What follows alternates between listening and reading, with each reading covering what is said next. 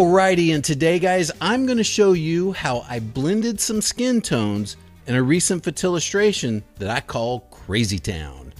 All right, but before I get started into that, I wanted to uh, respond to a question that I got from Raymond R. in Colorado, and he emailed me a question about my photillustrations or my composites and how I made money at them and marketed them. And so I really wanted to take a moment here, real quick, and answer that question for Raymond. And, and by the way, Raymond, thanks for asking the question. Uh, to, real quick to get started here. Uh, I started compositing about six months ago. I really didn't know much about it. I had some Photoshop skills a little bit before that, but not a lot. But I really dedicated a lot of time, uh, late nights, early mornings, to honing my skills, watching YouTube videos, you know, learning from other uh, composite photographers that I admired and uh, that inspired me, and I created a uh, YouTube video on that. Uh, so I've spent a lot of time in the early days here for this first six months practicing my skills, getting better. I've also uh, trying to build a, a portfolio, which has really been huge to build a portfolio that I believe is good enough then to go out and start showing people and trying to get work.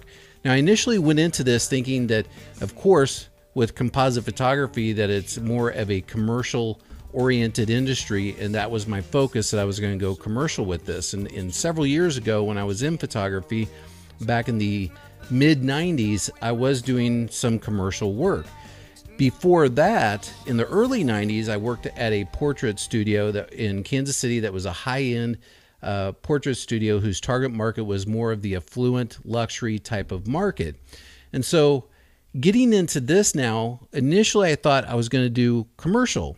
And then I started to think, well, everything that I see out there with portraits is kind of more traditional, uh, in my opinion, more boring, just you know the same thing where everybody's wearing the white shirts and the blue jeans and they're all posed in front of this uh, you know, babbling stream or in front of their home or whatever it is.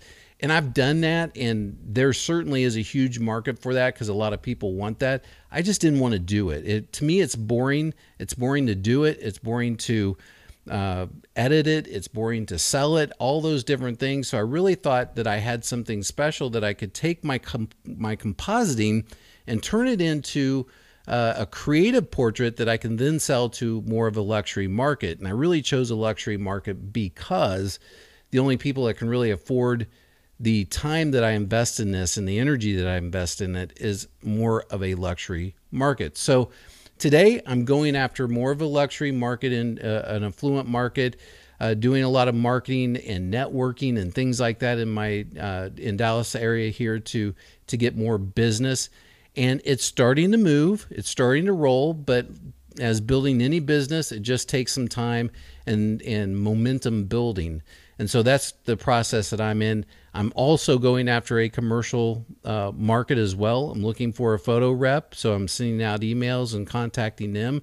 Also, uh, sending out emails and contacting uh, art directors or creative directors, art buyers, those type of things for the more commercially oriented uh, venues, which I think my work would be awesome for that. Anyway, uh, this is where I'm going with my photillustrations, uh, composite photography. Uh, I think it's different. I'm carving a new niche, kind of carving a new market. So I'm learning a lot in that process. If you have any questions, just ask. I'll answer them. Might even answer them here on a video. So anyway, let's get started into this tutorial today and let me get my fancy glasses on here so I can see what the heck I'm doing. And this is the composite that I'll be working on here and I call this Crazy Town. And I call it Crazy Town because every time my wife walked by when I was edit editing it, uh, she asked me, how's Crazy Town going? and so that's why it ultimately became Crazy Town. So we're going to take this image here, and this is where we're going here. And so what happened is when I did the photography of Mary, uh, afterwards, after we did all the shots and everything, she asked me, Oh, did you get my ring in that? And this is the ring that we're talking about here. And I said, Well, let me see. And I looked through the images, and of course, no, I didn't. So I had to take another image here of Mary and her hand to make sure that I got the ring here. So what I'm going to do is just breaking into this real quick. This this is going to be super easy, all right? Super quick. So we're going to take a lasso, kind of go around that hand there and cut it out. Command J on a Mac, and then I'm going to take that and then just put it, drop it right in on the image that we're working on here. And there's some issues with it, as you will be able to see. One is that it's a heck of a lot bigger, so we're going to drop the size down here. And we're going to bring it up. So the first obvious thing that we're going to be able to see here about this is that, uh, and this is what I saw, is that one is the hand and the glass are at a different angle. Okay, so, and what I mean by that is you can see her forearm here, and it's uh, more facing the camera than it is here. However, that said, I thought that we could get away with it anyway. All right, this is a illustration, so we can get away with some things here on this type of stuff that we can't get away with necessarily on other type of photography.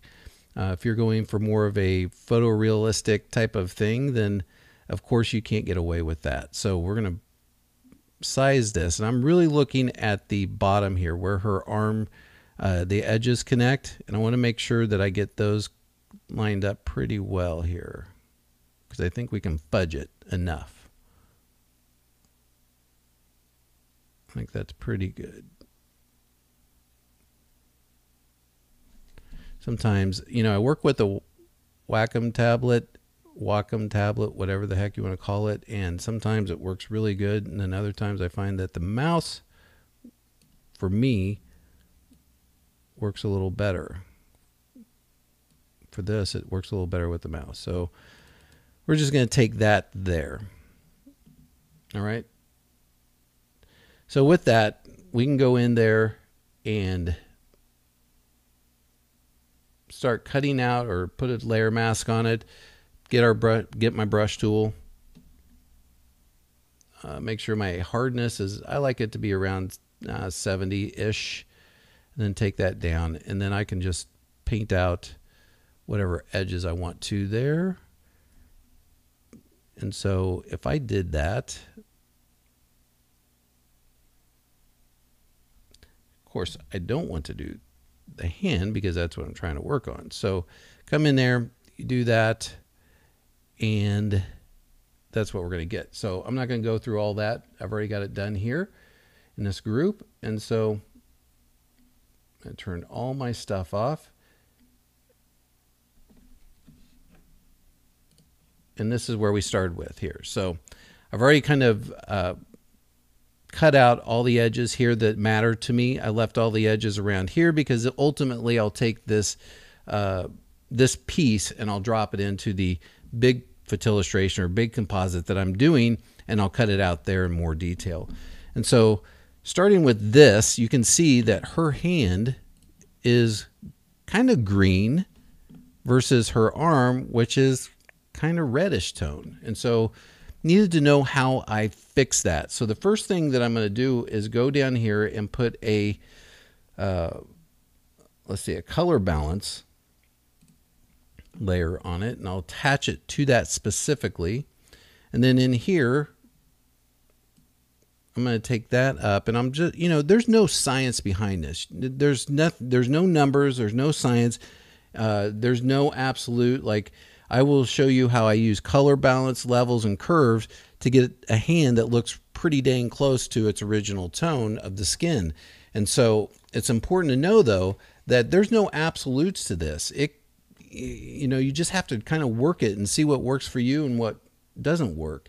And that's what I did here. So here I used the red or the cyan and I took it from being kind of green, bumped it up to about 15 and brought it into the red a little bit. And then I took the green here and bumped it down to negative three. And then I took the blue and I bumped it up to three. Okay. And that gives you a tone that looks pretty dang close to the uh, skin tone of her arm, which I think is pretty dang cool. All right. So then we're going to go into our levels and add a levels attached to that layer as well. And then in here, I just kind of bumped it up again, just looking, you know, it's a little bright to me. You can see kind of a little edge there, and I didn't like that. So I wanted to bring it down just a little bit and mess with the tone or, or the um, brightness of it. And so I brought that down just a little bit. You can see that it, if we go extreme here, you can see that brings it up, go down, brings it down. So you can, there's a lot of room here that you can play with and figure out what do you like. That's looking pretty good in there. And then when I do that, you can see that it comes out a little too red. So I'm going to go up to my, um, and add a curves layer here. And I just play with these things and see what I like the best. I mean, that's not looking too bad right there. I mean, it really covers up that difference in skin tone from her wrist down into her arm. And as you can see, it reads off pretty well. It doesn't read off like it was before, where her arm her wrist is more facing you like this versus like this. And so I just add that in and it reads well, I think. You know, and then you can come down if you don't like if it's too red for you, just come down and bump that down just a little bit.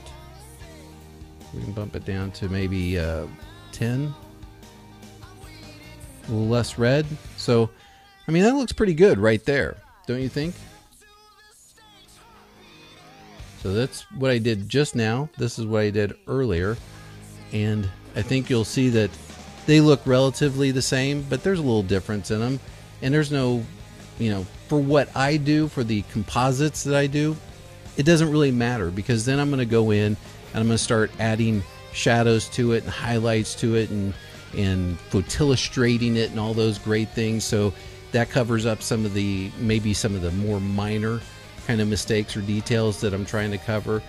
But this works really well, and I think you can do this on a lot of different type of compositing that you do with people. Most of the people that I put in my uh, composites are pieces of each other. So, like Mary here took, I think, five different images to create her with the baby doing what I wanted the baby to do, or what actually she wanted the baby do to do, which was have his head down like that.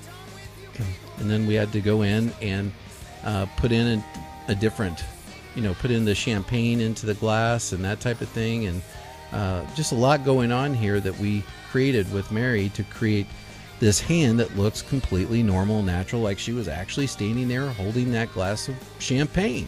So anyway, that's my tutorial today on how to blend the skin tones in your composite photography when you're piecing people together to create one image. This is a really nice technique. It's very simple, very quick. Just play around with it. There's no certain specific way to do it. I can't give you the numbers that are going to give you an absolute because everybody's skin tone's a little bit different. Every, you know, the brightness of your photography is a little bit different. All these variations or variables that that change what you will do. And next time I do a composite, I can guarantee you I probably won't use this same exact technique. I'll probably figure something else out or do something else. So anyway, that's how I blend the skin tones. Hope this helps you with your composites. Go out, give it a shot, let me know what you think, and I'll see you next time on the Photillustrator.